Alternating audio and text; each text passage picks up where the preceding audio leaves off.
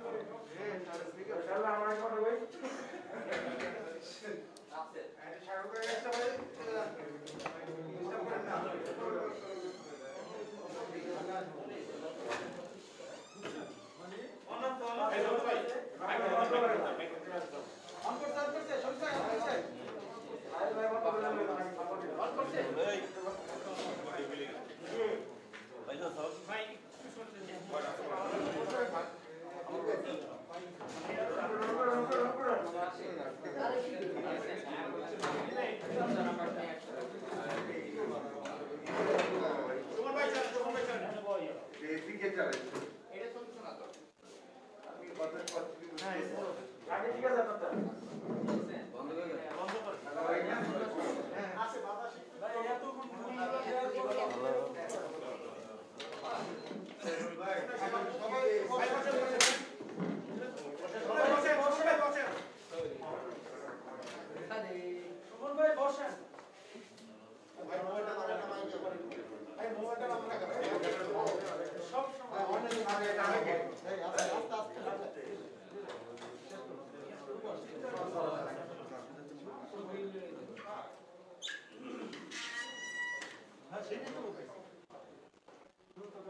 বিসমিল্লাহির রহমানির রহিম প্রিয় সাংবাদিক বন্ধুগণ আসসালামু আলাইকুম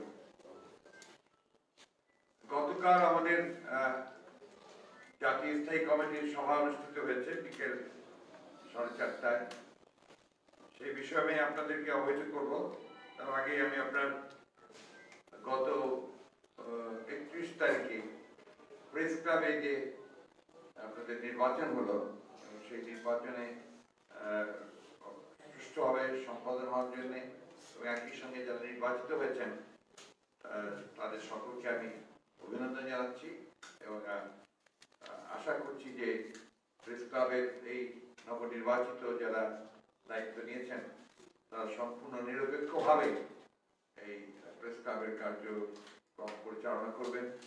একই সঙ্গে মুক্ত সাংবাদিকতার ক্ষেত্রে সংবাদ পরিবেশের ক্ষেত্রে তারা তাদের যে যথাযথ যে ভূমিকা সেই ভূমিকা তারা পালন আমি আপনাদের মাধ্যমে তাদেরকে অভিনন্দন জানাচ্ছি। এবং একই সঙ্গে গত এক সপ্তাহে যারা কোভিডে আক্রান্ত হয়ে অথবা আপনার বেশ, বেশি বয়সজনিত কারণে যারা আমাদের ছেড়ে চলে গেছেন, তাদের এই আত্মার ফেরাত কামনা করছি।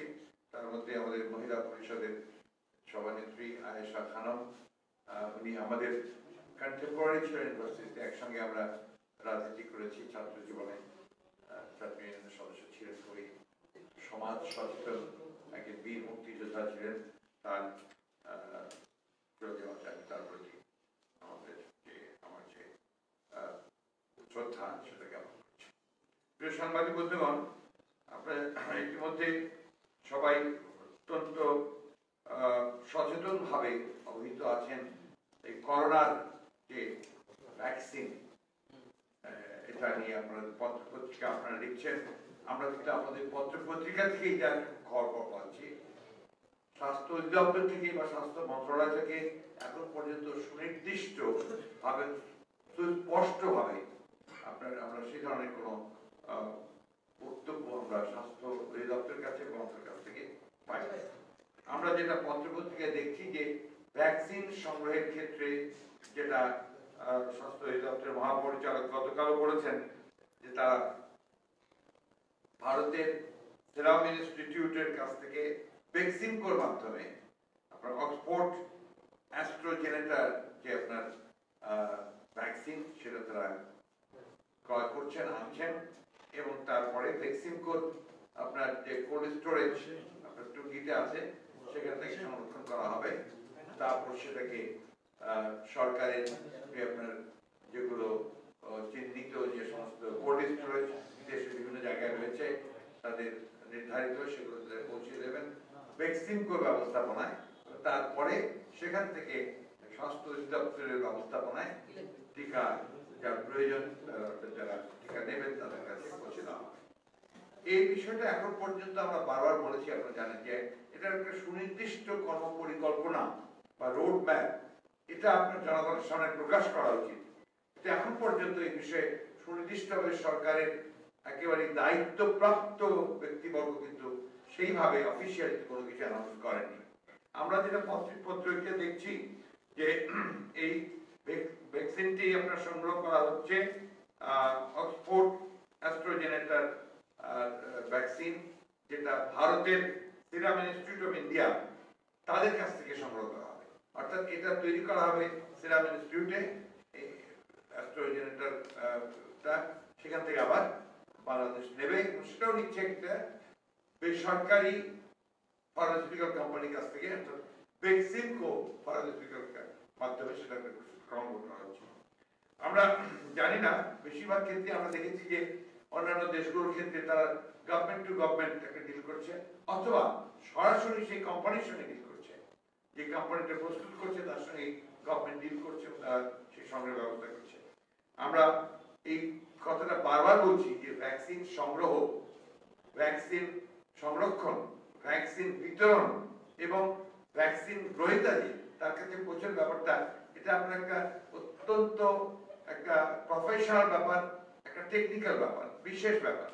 এটাকে সরকারের অবশ্যই জনগণের সামনে পরিষ্কার করে তাদের রোড ম্যাপটাকে তুলে ধরা দরকার যেটা কীভাবে করতে চান এবং জনগণকে আশ্বস্ত করা দরকার এই টিকা তাদের কাছে কখন পৌঁছাচ্ছে। আমরা পত্র পত্রিকায় যেটা জানতে পারছি যে আজকালকের মধ্যেই, দু একদিনের মধ্যে হয়তো আজকেই, ছয়শো কোটি টাকা আপনার সরকার ভ্যাকসিনকোর মাধ্যমে আপনার সিরাম ইনস্টিটিউট অফ ইন্ডিয়ার কাছে দেবে পৌঁছে দেবে। সেটার পরে তারা ছয় মাসে ছয় মাসে তিন কোটি ডোজ ভ্যাকসিন দেবে। তাতে করে দেখা যাচ্ছে যে আপনার প্রতি মাসে পঞ্চাশ লক্ষ ডোজ ভ্যাকসিন আসবে। এটা প্রয়োজনের তুলনায় অত্যন্ত অপ্রতুল এবং কে কখন পাবে, এটাও আমরা কোনো নিশ্চিত করে কিছু বলতে পারছি না, জানতে পারছি না। আমরা শুনতে পাচ্ছি বিভিন্ন জায়গা থেকে যে উচ্চ পর্যায়ের মানুষদের জন্য ইতিমধ্যে তালিকা প্রস্তুত শুরু হয়ে গেছে। আমরা খবর পেয়েছি যে আপনার Gulshan club, Dhaka club, Uttara club, এই সমস্ত ক্লাবগুলোতে যারা সদস্য আছেন, তাদের তালিকা, নাম তালিকা করা হচ্ছে। এবং আরও শুনতে পাচ্ছি যে আপনার আমাদের সরকারের উচ্চপদস্থ কর্মকর্তা যারা আছেন, তাদের জন্য করা হচ্ছে মন্ত্রীদের জন্য করা হচ্ছে। কিন্তু সাধারণ মানুষ কীভাবে এই ভ্যাকসিনটা পাবে? কখন পাবে, সেই বিষয়ে সুনির্দিষ্ট কোনো বক্তব্য আমরা কিন্তু সরকার কোন দপ্তরের কাছ থেকে এখন পর্যন্ত পাই আমাদের যেটা সবচেয়ে বেশি প্রয়োজন সেটা হচ্ছে যে সাধারণ মানুষ, তারা যেন বিনামূল্যে, আমি কথা জোর দিয়ে বলছি জন্যে যে আমাদের ভারপ্রাপ্ত চেয়ারম্যান কিন্তু প্রথম দিনই বলেছেন তার বক্তব্যের মাধ্যমে যে এটা বিনামূল্যে দেওয়া উচিত। আমরা শুনতে পাচ্ছি যে এটা স্বাস্থ্যমন্ত্রী গতকাল বলেছে যে চারশো ছাব্বিশ টাকা মূল্য পড়বে। এই মূল্যটা কি সরকার প্রদান করবে, নাকি আপনার জনগণকেই প্রদান করতে হবে যারা ভ্যাকসিন নেবে? সেটা কিন্তু ক্লিয়ার না। সেই জন্যে আমরা দাবি করছি যেটা অবিলম্বে সরকারের এই বিষয়ে পরিপূর্ণ আপনার পরিকল্পনা রোড ম্যাপ সবকিছু নিয়ে সংগ্রহ, বিতরণ, মূল্য এবং কতজনকে দেওয়া সম্ভব হবে, কাদেরকে দেওয়া হচ্ছে, এর একটা রোড ম্যাপ অবশ্যই জনগণের সামনে প্রকাশ করার দাবি আমরা জানাচ্ছি। আপনারা জানেন ইতিমধ্যে করোনা ভাইরাসের যে ইনফরমেশনগুলো সরকার তরফ থেকে সচেতন থেকে আমরা পেয়েছি।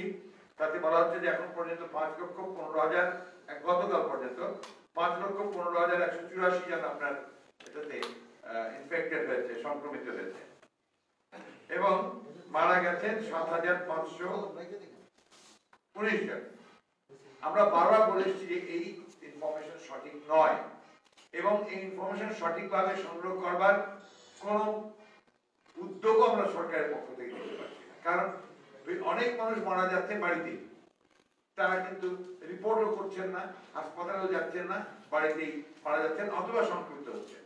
এবং সরকারের প্রথম দিকে যে পরীক্ষা করবার যে নীতি এবং এখনও যে নীতি চলছে, তাতে ইটস নট সাফিসিয়েন্ট এটা যথেষ্ট নয় যে আপনি সঠিক চিত্রটা আপনার কি আসবে এটাকে আমরা মনে করি যে এটা একটা গ্রস নেগলিজেন্সি আপনার, কারণ এই বিষয়টা মানুষের জীবনের সঙ্গে জড়িত, এই দেশের মানুষের সঙ্গে জড়িত। তা এটা নিয়ে আপনার সুস্পষ্ট বক্তব্য নিয়ে সরকার আসা উচিত, তার পরিকল্পনা করা উচিত। আমরা এখনও বলছি যে এই যে ইনফরমেশন সরকার যে দিচ্ছে ডেটা যে দিচ্ছে, যেটা আপনার সংক্রমণের মৃত্যুর, এটা সঠিক নয়, এটা সঠিক পরিসংখ্যান আমরা দাবি করছি। কারণ এখন পর্যন্ত আমরা আপনার যেটা দেখেছি যে বহু মানুষ, আমরা নিজেরাই জানি, যারা মারা গেছেন, তারা কিন্তু আপনার হাসপাতালে রিপোর্ট করেননি, মারা গেছেন। অনেকে সংক্রমিত হয়েছেন, নিজেরাই আপনার টেস্ট করে নিয়েছেন, জানাননি কাউকে সেভাবে অর্থাৎ সরকারের কোন এজেন্সি সেটা জানতে পারেনি, আমি, আমরা সেটা দেখিনি। সেটা সুস্পষ্ট বক্তব্য নিয়ে সরকার আসা দ্বিতীয়ত আমাদের গতকালের এই বিষয়ে বিষয়ে আমাদের একটা পার্টির তরফ থেকে একটা কমিটি করা হয়েছে, ডক্টর খোন্দকা প্রসাদ সাহেবকে আহ্বায়ক করে এবং সদস্য থাকছেন আমাদের ভাইস চেয়ারম্যান ডক্টর জাহিদ, উপদেষ্টা ডক্টর ডোনার ট্যাবের প্রেসিডেন্ট সেক্রেটারি আর বিএনপির ষষ্ঠ সম্পাদক ডক্টর রফিকুল ইসলাম, তারা এই কমিটির মধ্যে আছেন। এই কমিটি অবিলম্বে ভ্যাকসিন সংগ্রহ থেকে শুরু করে প্রদান পর্যন্ত এর যাবতীয় তথ্যাদি সংগ্রহ করবেন এবং সেই তথ্যাদি বিশ্লেষণ করে তারা আমাদের জাতির সামনে তাদের বক্তব্য এবং পরামর্শ তুলে ধরবেন। আপনারা জানেন যে গতকাল আমাদের আমাদের যেটা আলোচনা হয়েছে তার মধ্যে সবচেয়ে গুরুত্ব পেয়েছিল আপনার নিত্য প্রয়োজনীয় দ্রব্যের মূল্য। চালের দাম কমছেই না, বেড়েই চলেছে। এবং যেটা আপনার আশঙ্কাজনক সেটা হচ্ছে যে চালের প্রোডাকশনে কিন্তু গতবারের তুলনায় এবার অনেক কম হয়েছে। যার ফলে আপনার চালের আরও মূল্য বৃদ্ধির সম্ভাবনা আছে। সরকার যখন দু হাজার আট সাল নির্বাচন করে, তখন কিন্তু তারা জনগণের কাছে আপনার অনেক সুন্দর সুন্দর কথা বলেছিল তার মধ্যে বলেছিল যে দশ টাকা কেজি চাল দেবে এবং মানুষকে আপনার বিনা পয়সায় সার দেবে সার দেবে এবং ঘরে ঘরে চাকরি দেবে। এখন এই দশ টাকা কেজি চাল গতকালই বেরিয়েছে, সাত লক্ষ কার্ড ভুয়া।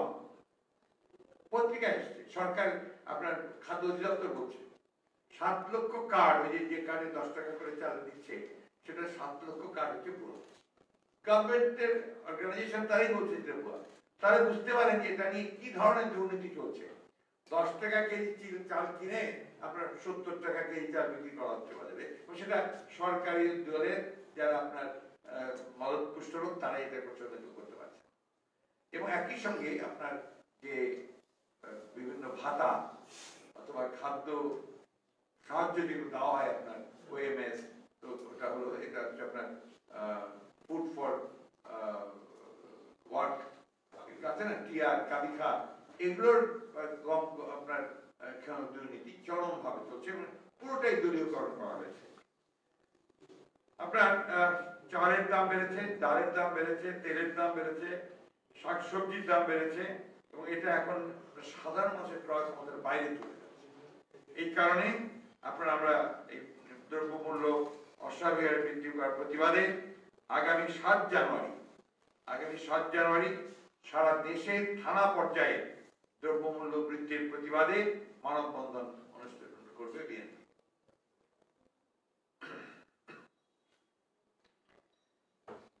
এরপরে এখন চলছে আপনার থানা পর্যায়ে। এরপরে চলছে আপনার এখন পৌর নির্বাচন।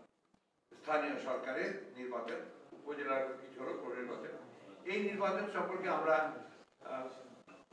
কিছুদিন পরপরই আপনাদেরকে আমাদের বক্তব্য তুলে ধরেছি এবং নির্বাচন কমিশনের যে ব্যর্থতা, তাদের যে উদাসীনতা, তাদের যে দুর্নীতি এবং পুরোপুরি ভাবে বলা যেতে পারে পক্ষপাতিত্ব নির্বাচন করবার যে উদ্দেশ্য, সেগুলোর বিরুদ্ধে আমরা সবসময় বক্তব্য করি।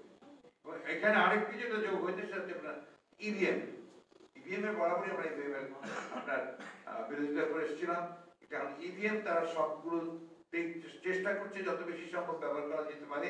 কিন্তু এখন পর্যন্ত আমরা পরিষ্কার না যে আসলে ইভিএমটা কীভাবে আপনার ইউজ করা হচ্ছে। যারা ভোটার, তারা কীভাবে ভোট দিচ্ছেন? তারা কোন পদ্ধতিতে ভোট দিচ্ছেন? এবং জানার কোনো উপায় নেই যে আপনি যে ভোট দিলেন, সেই ভোটটা গিয়ে সঠিক জায়গায় পড়ল কিনা? সেটা আপনার সঠিকভাবে রেকর্ড হচ্ছে কিনা? তার মধ্যে আপনার কিন্তু জানার কোনো উপায় নেই সেদিকে আপনি কোনো পেপার ট্রেল পাচ্ছেন আপনাকে হচ্ছে। একই সঙ্গে ওখানে যে আপনি যদি আমাদের গ্রামের মানুষ তো আপনার বোঝেও না ইভিএম তারা কীভাবে দেবে, কোন জায়গায় টিপতে গিয়ে কোনটা টিপবে তারা সেটাও বুঝতে পারে না। ওখানে আপনার বলা আছে যে প্রিজাইডিং অফিসার যিনি থাকবেন বা পোলিং অফিসার তারা সেই ব্যাপারে তাকে সাহায্য করবেন। দেখা গেছে সেখানে আওয়ামী লীগের লোকেরা, গুন্ডারা, আওয়ামী লীগের আপনার তাদের কর্মীরা, তারা গিয়ে ওখানে দাঁড়িয়ে থাকে এবং তারা ভোটটা তারাই দেয়। সেই অবস্থা করে। ফলে ইভিএম এ কখনোই কোনোভাবে একটা সঠিক নির্বাচন হওয়ার সম্ভাবনা থাকে না। ব্যালটেও যে হয় না যেহেতু দু হাজার আঠারো সালে হয়েছে অর্থাৎ এই নির্বাচন কমিশন তারা ইভিএম বলেন বা ব্যালট বলেন কোনটাতে তার একটা সুষ্ঠু, নিরপেক্ষ নির্বাচন করার যোগ্য নয়। এবং সেটা আপনার আমরা মনে করি যে নির্বাচন কমিশন একেবারেই আপনার পুরোপুরি ভাবে ব্যর্থ হয়েছে এবং প্রধান নির্বাচন কমিশনার সহ সকল পুরো নির্বাচন কমিশন পদত্যাগ করা উচিত, অবিলম্বে বিলম্ব না করে। একটা সুষ্ঠু নির্বাচন অনুষ্ঠান সামনে এবং এই প্রতিবাদে এবং প্রত্যেকের দাবিতে আগামী দশ জানুয়ারি সারা দেশে পৌরসভা এবং মহানগর, পৌরসভাগুলোতে এবং মহানগরগুলোতে এর প্রতিবাদে মানববন্ধন অনুষ্ঠিত হবে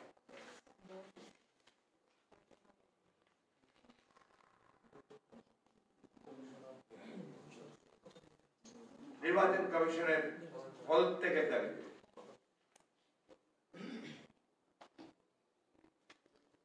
আর আমরা এও মনে করি যে আপনার যে দ্রব্যমূল্য নিয়ন্ত্রণে ব্যর্থ হওয়ার জন্য আপনার কমার্স মিনিস্টার বাণিজ্য মন্ত্রী, তার আপনার পদত্যাগ করা উচিত সেটাও থাকবে এই ছিল আমাদের আমাদের গতকালের আপনার স্ট্যান্ডিং কমিটির আলোচনার বিষয়গুলো।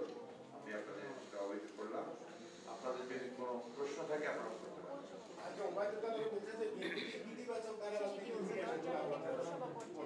ইতিবাচক রাজনীতি রাজনীতি এবং ভোট ডাকাতি রাজনীতি যেটা তারা করেছেন দু হাজার আঠারো সালে তারা আগের রাতে ভোট ডাকাতি করে ক্ষমতা দখল করে বসে ইতিবাচক রাজনীতির কথা বলছেন। সেই ইতিবাচক রাজনীতি হচ্ছে বিরোধী দলকে কোনো কথা বলতে না দেওয়া। ইতিবাচক রাজনীতি হচ্ছে কি যে আপনার সংবাদ মাধ্যমকে পুরোপুরি নিয়ন্ত্রণ করে রাখা। ইতিবাচক রাজনীতির মানে কি হচ্ছে এই কথা? ডিজিটাল সিকিউরিটি অ্যাক্ট করে সেখানে আপনার সাংবাদিক বলেন যে আপনার লেখা একশো সাতান্ন জন গত বছরে আপনার কারাগারে গেছে। এই ডিজিটাল সিকিউরিটি অ্যাক্ট এই বিষয়গুলো উনি ওনারা যে বলেন, এটা হচ্ছে আপনার যে আমি এর আগে অনেকদিন বলেছি, আবারও বলতে চাই যেগুলো হচ্ছে ভূতের মুখে রাম নাম সমস্ত আর অনেকের কাছে রাম রাম না, রাম নাম। অনেকে আপনারা লিখেছেন রাম রাম রাম রাম না, এটা হচ্ছে ভূতের মুখে রাম নাম, অর্থাৎ ভূত যদি রামের নাম নেয়, এটা যেমন একটা অস্বাভাবিক ব্যাপার থাকে, ঠিক সেইভাবে এটা চলে ভূতের মুখে, রাম নামের মধ্যে কথা। আসলে আওয়ামী লীগের এখন আপনার কিছুই বলার নেই। তারা যে কাজগুলো করেছেন, এগুলো সমস্ত সংবিধান বহির্ভূত কাজ। যে কাজগুলো করেছেন, তারা গণতন্ত্রের বিরোধী কাজ করেছেন। এবং এখন পর্যন্ত তারা সেটা করেই চলেছেন, শুধুমাত্র তাদের ক্ষমতাকে কুক্ষিগত করে রাখার জন্য এবং তাদের যে নীল নকশা একটা গণতন্ত্রের মুখোশের মধ্য দিয়ে ছদ্মবেশের মধ্য দিয়ে তারা একদলীয় শাসন ব্যবস্থাকে প্রতিষ্ঠা করেন। সেটাই তাদের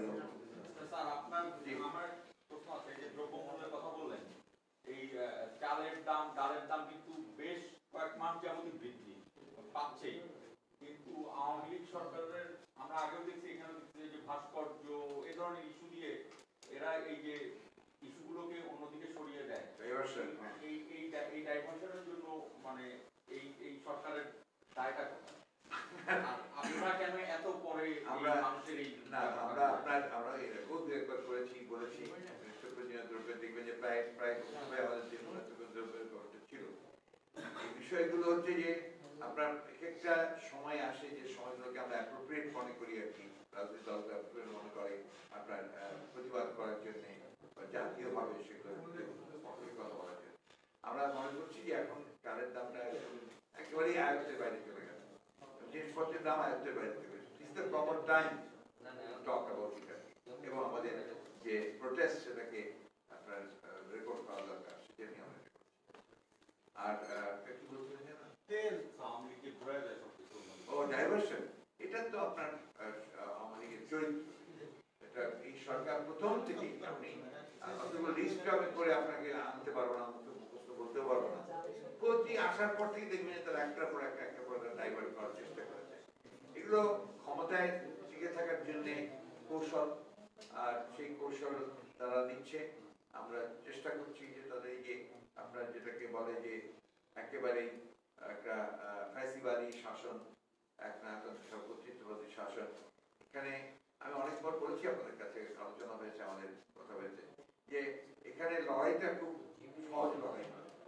টাফ হার্ড স্ট্রাগল আপনার আওয়ামী লীগ এত কথা বলে? আওয়ামী লীগের কত বছর লেগেছে ক্ষমতায় ফিরে আসতে? একুশ বছর। তাও ফিরে আসছে কিন্তু একটা আপনার কেয়ারটেকার গভর্নমেন্টের কেয়ারটেকার গভর্নমেন্টের অধীনে। নির্বাচনে তারা ফিরে আসতে পেরেছে। আমি তো ফিরে আসাটা বলি নাইনটি সিক্সে তাই না? নাইনটি সিক্সে ফিরে আসতে একটু twenty one years come back to power তো তারা ধরে কি কম করেছে এর মধ্যে কত হরতাল করেছে চিন্তা করে একশো তিয়াত্তর দিন, দুশো দিন, দেড়শো দিন, সবই করেছে। কিন্তু তারা সে- সফল হতে পারে এই আন্দোলন, ফ্যাসিবাদের বিরুদ্ধে যে আন্দোলন সংগ্রাম, এটা কোনো সহজ সংগ্রাম।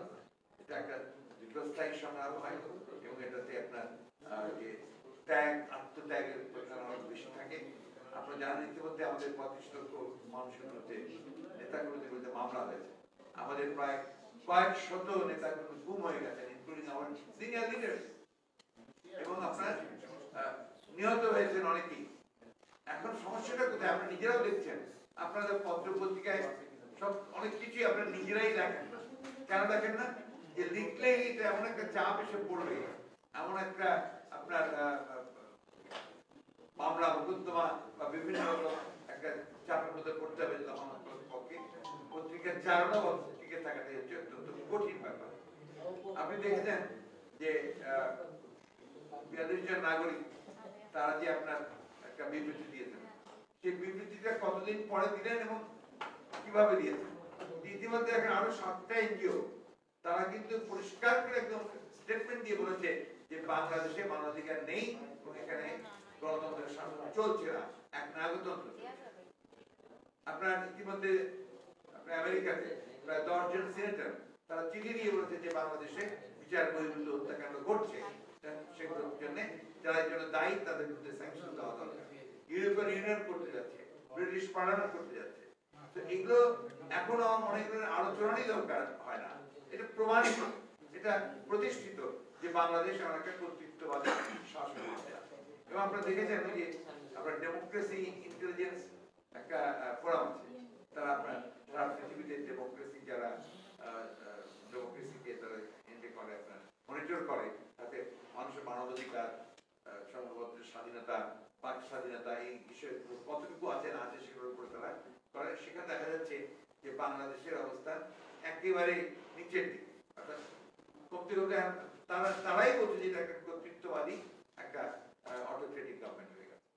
দ্যাটস এ স্যার, এটা হচ্ছে যে আপনি বলছিলেন যে টিকা আনার ক্ষেত্রে গভর্নমেন্ট টু গভর্নমেন্ট চুক্তি হয় বা যোগাযোগ তো সেক্ষেত্রে আপনার একটা বেসরকারি প্রতিষ্ঠানকে না বলে নিয়ে আসেন এখানে কি টিকার মান নিয়ে আপনার কোনো সন্দেহ করছেন? এখানে আমরা কোনো সন্দেহ করছি না এটা একদমই ঠিক হবে না আমাদের।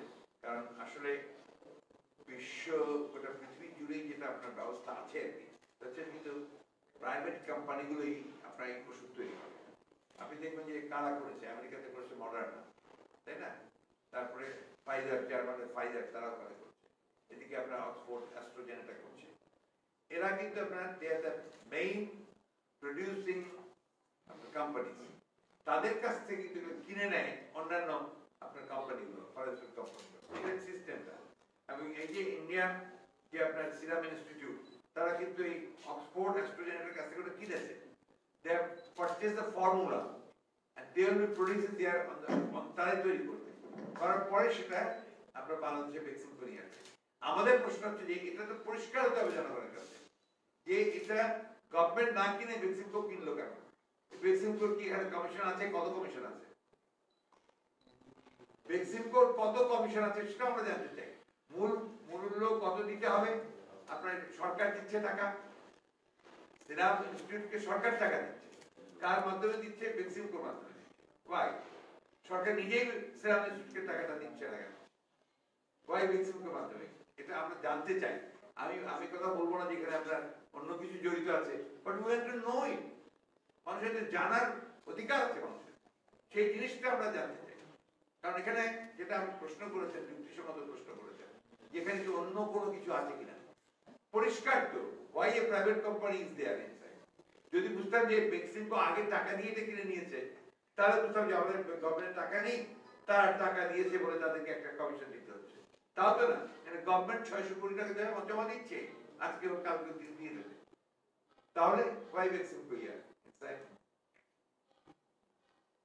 এটা কি এই জন্যে যে তিনি এই সরকারের উপদেষ্টা, নাকি অন্য কোনো কারণ মাননীয় মহাসচিব, আমার একটি ছোট্ট প্রশ্ন। আপনারা এই সরকারের বিরুদ্ধে জনগণকে ঐক্যবদ্ধ হওয়ার আহ্বান জানাচ্ছেন বিভিন্ন দুঃশাসন আপনি যে দ্রব্যমূল্য ঊর্ধ্বগতি সবকিছুর কারণে সব- জনগণকে ঐক্যবদ্ধ হওয়ার ডাক দিচ্ছেন আপনাদের হাতে তখন ক্ষমতাসীন দল বলছে যে আপনাদের এই আহ্বান বা আন্দোলনের সারা মানুষজন বিশ্বাস করে না জনগণ বিশ্বাস করে না তার হাসাহাসি করে তো এই বক্তব্য এটা তো কিনা এর বিকল্প কোন বক্তব্য সরকার দেওয়ার আছে? আমি আপনাকে প্রশ্ন করছি সরকার এটা ছাড়া কিছু বলার আছে? আপনি আপনার নিজের বিবেককে প্রশ্ন করেন। আপনি যখন প্রশ্ন করছেন ইউ আস্ক ইউর কনসিয়েন্স যে what is happening in Bangladesh আপনি নিজেই তো উত্তর পাবেন। একজন সাধারণ মানুষ উত্তর পাবে। ইউ আস্ক এ রিক্সা পুরান একজন যিনি আমাদের ভাই রিক্সা চালাচ্ছে তাকে জিজ্ঞেস করেন যে ছেলেটা হকার? হকার? সে কে? যে জিজ্ঞেস করেন বলল যে আমি ওই নেত্রকোনাতে, মোহন থানাতে আমি ছাত্র দলের কর্মী ছিলাম। ওখানে এত মামলা যায় পালিয়ে চলে এসেছি এই অবস্থা দেশে তারা দেশে থাকতে পারছে না, ঘুমাতে পারছে নিজের বাড়িতে থাকতে পারছে না, পালিয়ে পালিয়ে চলে এসছে। আমি আপনাদের আরেকবার বলেছি যে পূর্বাঞ্চলে আমি একবার গিয়েছিলাম ওখানে বেড়াতে।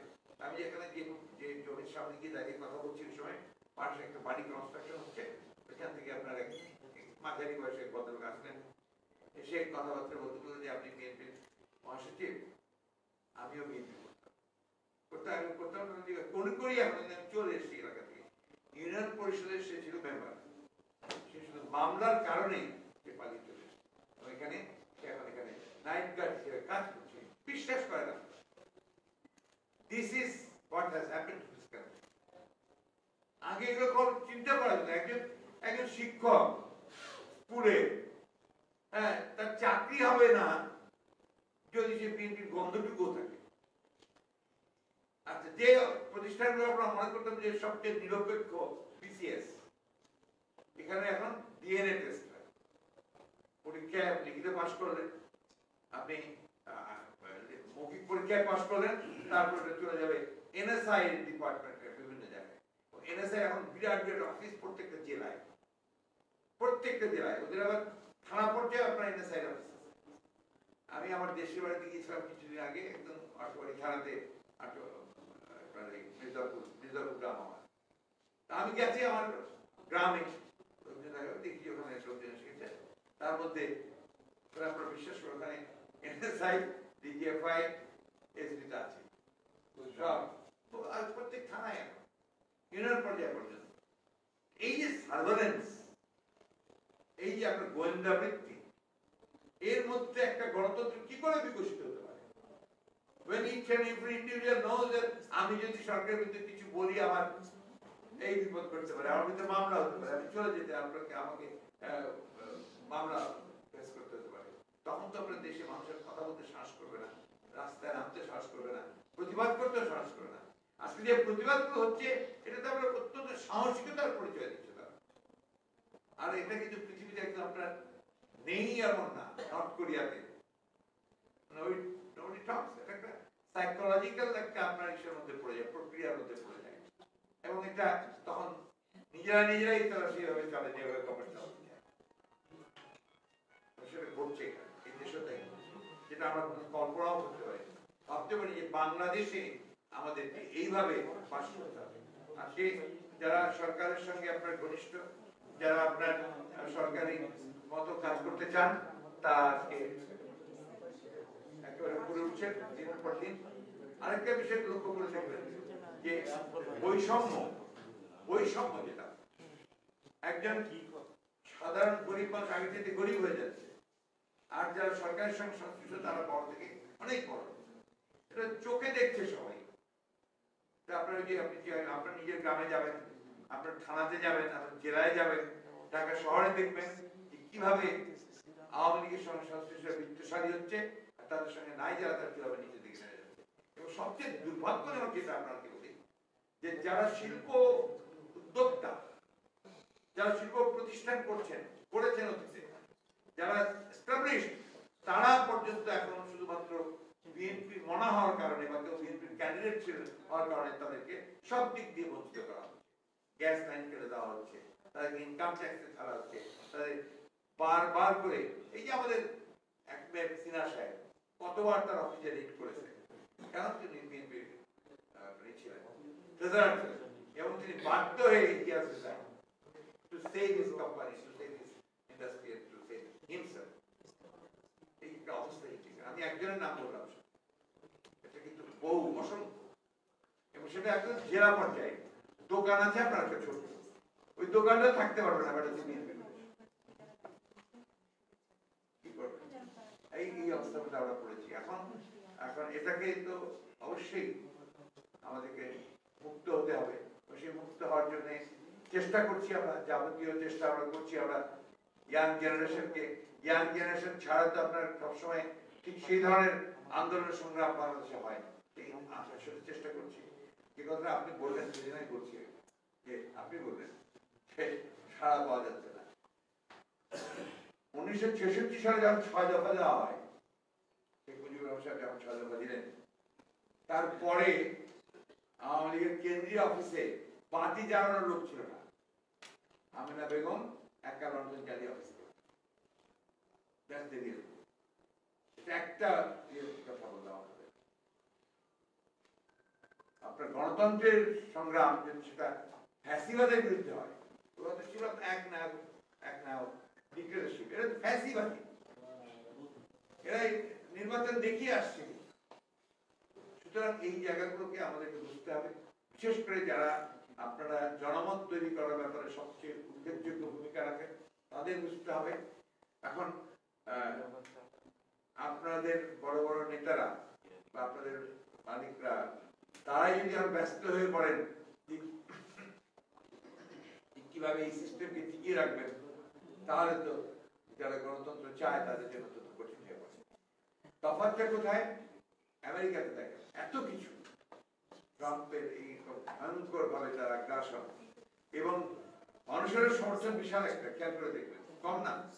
সেখানেও কিন্তু আমেরিকান ডেমোক্রেসি টিকে গেল একমাত্র তার ইনস্টিটিউট গুলোকে তার যে ইনস্টিটিউশন তার সিস্টেম সেই সিস্টেমের কারণে তার গণতন্ত্র ঠিক আছে? আজকে রিপাবলিকানরা পর্যন্ত তার বিরুদ্ধে অবস্থান নিয়েছে। যে ট্রাম্প ভুল করছে, কারণ সেখানে গণতন্ত্র আছে বলেই সেটা সম্ভব আমরা জানি যে সারা পৃথিবীতে একমাত্র গণতন্ত্রের একটা দুঃসময় যাচ্ছে।